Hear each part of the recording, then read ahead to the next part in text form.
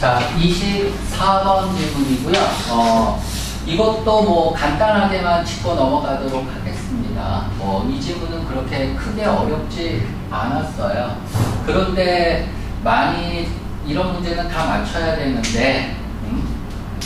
그렇지 않은 부분들이 발견이 되네요. 자, 1번 문제 어렵지 않았죠? 그쵸? 어, 여기서 되게 쉽게 풀어야 되는 건 뭐냐면 일단 A번에 mysterious 밑줄 꺼보세요. 형광펜을 하든지 뭔가 아직은 잘 모르는 거 신비롭고 해결이 되지 않은 걸 mysterious라고 표현하는 겁니다.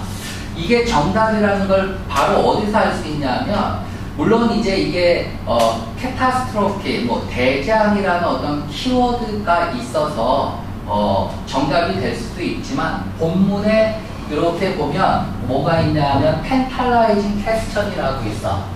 여기에다가 형광펜을 하세요. 혹시 다음에 문제 풀 때에도 이렇게 tantalizing question이라는 단어가 있다면 tantalize가 뭐예요? 애태우게 하다, 감질나게 하다. 이렇게 아, 자 이거 먹고 먹고 하다가 쏙 빼고 뭐 이러는 거예요. 그쵸? tantalize. 애태우는 질문이야. 애태우는 질문이라는 얘기는 뭡니까? 아직 답이 없다는 얘기야. 해결되지 않은 거죠. 그러니까 연구자들이 계속 노력해서 막 풀고 싶은 그런 퀘스천이라는 얘기예요. 그럼 풀고 싶다는 얘기는 뭐야? 답이 없다는 얘기죠. 안 풀린다는 얘기고. 그래서 안 풀린다는 안 풀리고 잘 해결이 안 되고 그 단어를 미스테리어스로 쓴다는 얘기입니다. 독해에서 문제를 낼 때는 어, 이것만 기억하면 1번의 답은 A번 바로 나왔어야 됐고요. 자, 2번 문제 보면 아, 어렵지 않게 이거는 델타원 썼을 거예요. 어, 지문 보면서 다시 한번 확인을 할게요. 만약에 2번 문제를 틀렸다면 우리 mind mapping 독해할 때 접속사 인트로 다시 한번 보고요. 어, 아직도 이거를 해결이 안 되면 안 됩니다. 자, 3번 문제. 어, 우리가 이제 3번 문제는 문제 잘 읽어야 돼. 우리 바로 전지문에서 관계대명사 삽입 문장하고 똑같은 거예요. 주동동. 자, 왓이 나오고, 사이언스가 나오고, thought했대요. 그쵸? 답이 뭐예요? had caused죠? 이렇게. 주동동 삽입. 간단한 거죠? 그쵸? 그래서 여기서, 어, 이렇게 나온 거야. 의문문이 문두로 나갔으니까 뭐가 된 거야? 여기서 did가 앞으로 나간 겁니다. 자, 뭐, 과학자가 생각하기에 무엇이 대재앙을 야기했던 겁니까? 라는 질문이죠. 그러니까 과학, 그 과학자들이 어, 이 지역을 방문하기 전에는 그러니까 정답 푸는데 이것도 별 문제가 없었어요. 문제 해석만 잘하면 되는 거였죠. 그래서 3번 문제를 틀렸다면 학원에 오는 게 아니라 안과를 가야 되는 그런 문제였습니다. 자, 24번 문제는 좀 빨리 볼 거예요. 어, 지문 보면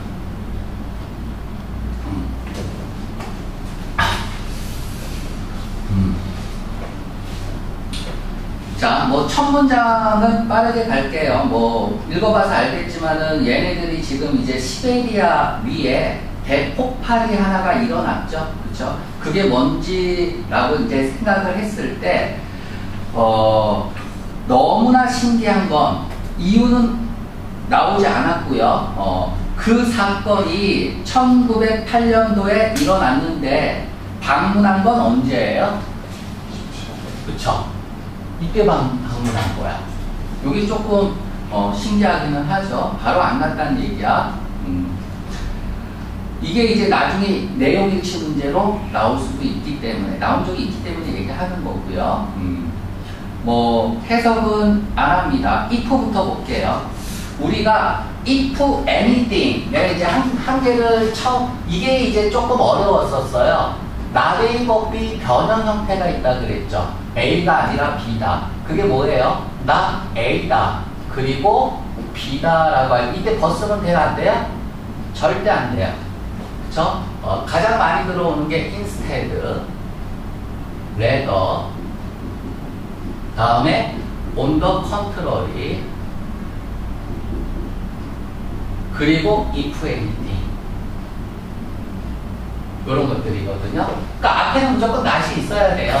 만약에 not이 없다면 어려운 문제라면은 부정의 의미를 포함한 것까지도 포함이 될 수 있다는 얘기야. 뭐 if anything은 그냥 어쨌거나 라는 뜻인데 앞에 말을 부정하면서 나오는 거예요. 어. 그들은 큰 구멍이나 바위 파편이 있을 거라고 예상을 했던 거예요. 이것들은 뭐를 나타낼 것 같냐 하면은 운석의 충격을 보여줄 것 같은 거래요. 그러니까 3번 문제 B번이죠. 어, 미티어 운석이라고 이제 생각을 한 거죠. 그러니까 저자가 쉽게 방금 했던 내용을 좀 부정하면서 써주면 되는데 그 내용을 지금 안 써주고 다음 내용을 추가시키면서 썼기 때문에 조금 어려울 수도 있었어요. 어, 그래서 그 이제 blank가 나오고 다음 내용을 조금 봐야 되는데 다음 내용을 보니까 그들이 발견했어요. 그러니까 운석을 발 운석이라고 생각을 했던 거죠. 얘네들은 그치? 거기 가기 전에는 근데 가서 이제 발견을 했는데 그 지역을 with 뭐와 함께 운석의 충격을 보여줄 것 같은 거래요. 그치? 와, 다시 위를 읽었어요. 어.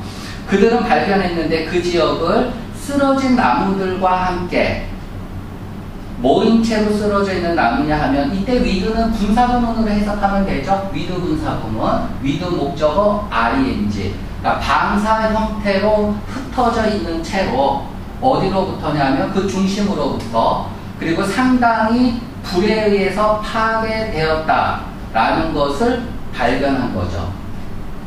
자, 직접적으로 지금 나오진 않았지만은 모는 없었다는 내용이야. 운석, 그치? 운석 파편이랑 뭐 구멍은 없었다. 라는 내용이 지금 포함되어 있는 겁니다. 그럼 블랭크에 들어갈 말은 뭐예요? 이렇게 생각했는데 그게 아니라 이거다. 그래서 이제 어, 나대 법이 변형 형태로 봐야 되는 거죠. 그래서 여기 instead가 들어가야 되는 거였고 음. 어, 뭐 마지막 문장만 더 보고 넘어갈게요. 마지막 문장. 뭐 사실 뭐 읽어봐서 알겠지만 결론이 나나요?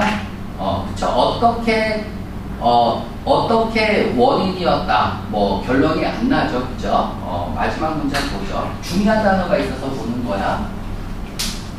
심지어 어떤 이론까지 있냐 하면 어, 2번이라는 것은 앞문장을 극단적으로 끌고 올 때 쓰는 겁니다. 어, 다른 행성에 의해서 온 우주선이 폭파했대요. 시도하는 기간 동안에 지구에 착륙하려고 자, 여기까지 여러분들이 읽었을 때, 나도 지금 이걸 처음 읽었을 때에는 우주 SF로 가는 줄 알았어요. 뭐, 외계인이 나오고. 근데 그런 건 아니고요. 외부에 우주선을 보내면 되돌아오는 기간이 있을 거 아니야. 그치? 어, 그래서 그때 폭발했다는 얘기입니다. 어, 그죠? 외계인 얘기가 아니라는 얘기야. 자, to date. 지금까지, 오늘날까지 그 증거는 모든 이론들에 관한 증거는 매우 tenuous, 형광펜치랍니다. tenuous. 미약한이란 뜻이야. 미약한. 우리가 뭐, 요 단어로, 뭐, 쉬운 단어는 slight가 있겠죠? slight. 미약한. 뭐, vague 괜찮아요. 애매모호하다. 그죠? 베이그. 뭐, 풀린지. 좀 어렵게 나오면은 풀린지가 나올 수 있겠죠? 그치? 미약한. 약, 약하다는 의미로 쓴 겁니다. 자, 그리고 포함되어 있어요. 주로 educated. 아, 요거 잊을 거야 돼. educated guess. 경험이 많은 이란 뜻이야. 형용사로 쓰면. 교육을 받았다라는 것은 아는 게 많다는 얘기잖아. 그래서 경험된 추측이란 뜻이거든요. 그러니까 어떤 한계를 깨지는 못하는 거야. 어떤 한계가 있다면 그거는 깨지 못하고 그 안에서만 생각하고 있다는 얘기를 이제 educated guess라고 합니다. 그래서 뭔가 더 새로운 이론에 대해서 만들지 못하고 있다라는 얘기입니다. 음? 따라서 우리 1번 문제 보면